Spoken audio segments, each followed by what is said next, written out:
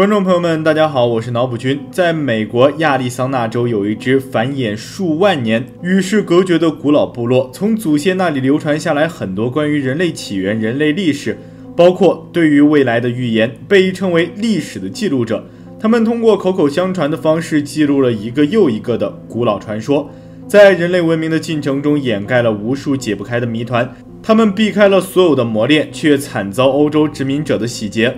如今，他们留下的九个预言中已经实现了八个，最后一个竟然暗示着人类文明即将毁灭。今天我们来聊聊这背后的故事。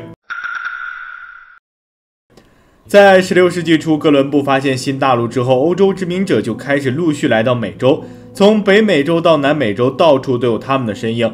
他们在那里建立村镇、种植庄稼、开采矿石，掠夺了很多资源。而在欧洲殖民者来到美洲之前，那里其实原本就一群居民在生活。殖民者们习惯把生活在美洲大陆的原住居民称为印第安人。这些印第安人世代生活在美洲大陆，他们大部分以打猎和种植农作物为生。一部分印第安人还创造了灿烂的文明。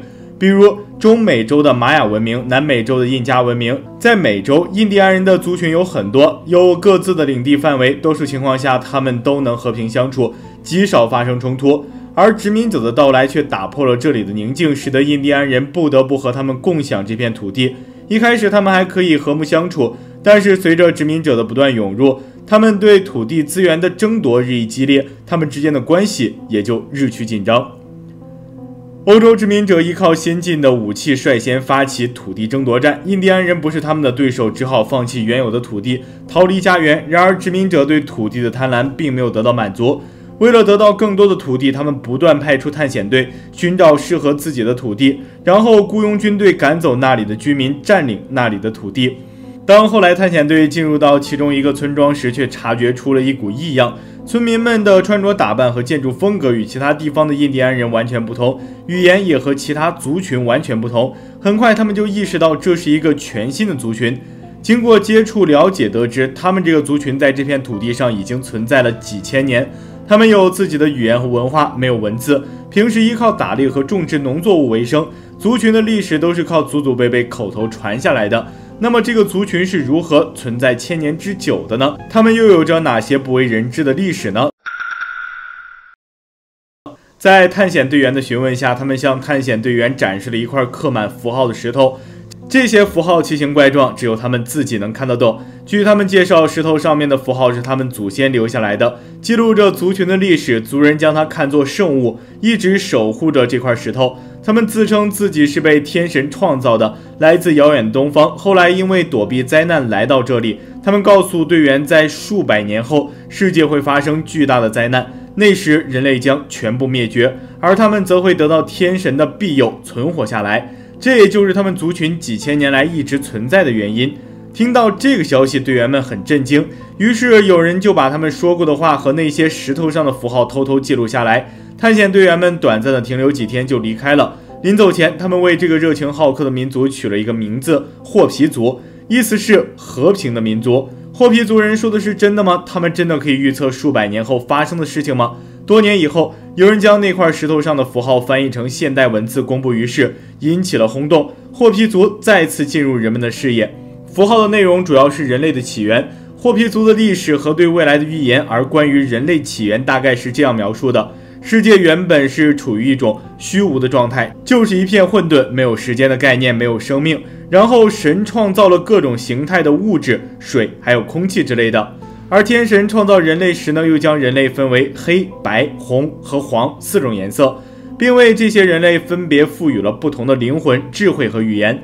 这正好印证了当今世界上不同的人种和语言。而在天神临走的时候，他告诉人们说。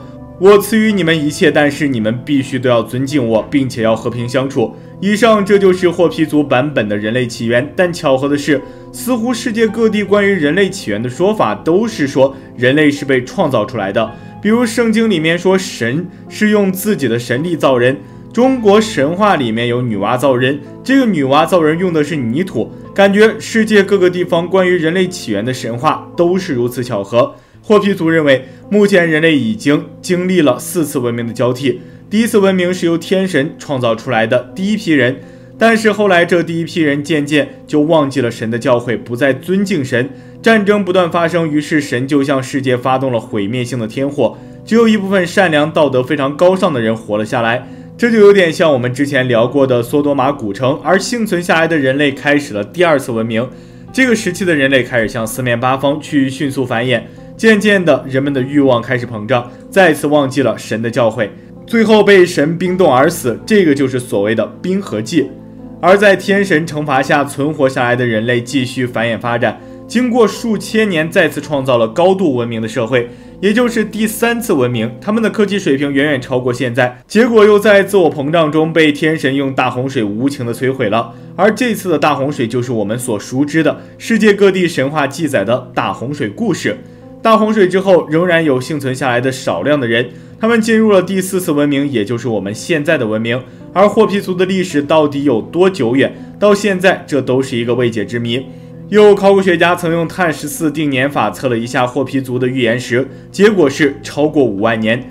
大家都知道，很多远古文明和原始部落，他们知道大洪水是一万多年前的事，就是说人类文明记载极限就是一万多年前的事。但是再往前的远古文明记载就没有了。但是霍皮族直接就把史前的四次文明都给整明白了，这足以说明霍皮族可能是地球上历史最久的族群。可能有人会想。为什么他们历史悠久却没有创造出辉煌的文明？他们的社会结构仍是最简单的母系社会，也没有创造出文明呢？现在看来，他们不创造文明，或许是害怕天神的惩罚，这也是他们族群能一直存在的原因。然后霍皮族还说，我们目前这一批第四次文明的人类与生俱来就有伟大的潜能，这种潜能会从我们的光与灵中释放出来。这句话，脑补君一直没弄明白。感觉他不是在说肉体与灵魂，而是有点像在说维度提升。然后他们还说，我们这批人类会了解动物为什么会出现在地球上。后来琢磨了一下，感觉他们是想表达说，我们这批人将会真正了解人类起源的真相和宇宙诞生的真相。最后，霍皮族人最让人印象深刻的就是他们关于后世的九大预言。第一个预言是说，在未来几年，他们会遇到一群白皮肤的人，这群人会抢夺他们的土地，并且会用喷火的闪电消灭他们。这个情景让人联想到前面讲的欧洲殖民者来到美洲大陆，驱赶屠杀印第安人，抢夺土地。里面提到的喷火的闪电，也许就是殖民者使用的火枪、火炮之类的武器。第二个预言是说。将来在他们的土地上会出现一种巨大的轮子，轮子转动会发出很大的响声。说起轮子，自然让人联想到车辆。十六世纪欧洲的主要交通工具还是马车，马车上有两个巨大的车轮，走起路来咯咯吱吱的作响。根据霍皮族的人描述，这个巨大轮子很可能就是后来出现在美洲大陆的马车的车轮。第三个预言是说，将会出现一种从来没有见过的长角的野牛，会出现在他们的领地上。而十六世纪欧洲有一种特有的动物叫欧洲野牛，这种动物最明显的特征就是头上长有一对巨大锋利的角。欧洲殖民者来到美洲后，顺带着把它们也带了过来。霍皮族说的这种动物应该就是指欧洲野牛。第四个预言是说，未来的土地会出现一种像铁蛇的东西，纵横交错的贯穿，它们遍布在世界各地。这个描述很像十九世纪出现的铁路。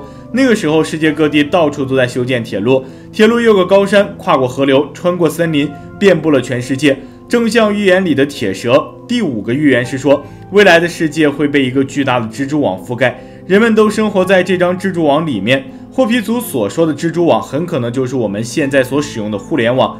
如今，我们通过互联网可以和世界上任何地方的人进行交流，确实很像一张巨大的蜘蛛网。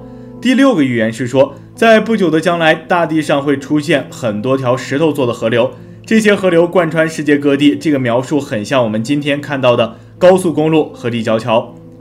然后第七个预言是说，大海会变成黑色，很多生物会死亡。这个就像我们近年来不断爆发的海洋石油泄漏事件。第八个预言是说，许多年轻人像他们一样会留起长头发，会真正的去体会智慧。这个很多人说也发生了，说当年的洗皮式运动就是，也有的人认为不是洗皮式，而是当今社会大家都出不了门，很多人不剪头发，然后开始去琢磨人类是怎么回事，宇宙是怎么产生。以上八个预言，每条预言都能在现实中找到对应的事件。从另一个角度来说，这八条预言全部都实现了。现在还剩最后一条预言，也就是唯一没有被实现的预言。根据霍皮族的说法，最后一条预言如果实现，世界将面临灭顶之灾。预言里说，有一天天空中会落下来一个巨大的球状物体，到那时，我们这批人类会迎来终结，第五次文明会开启。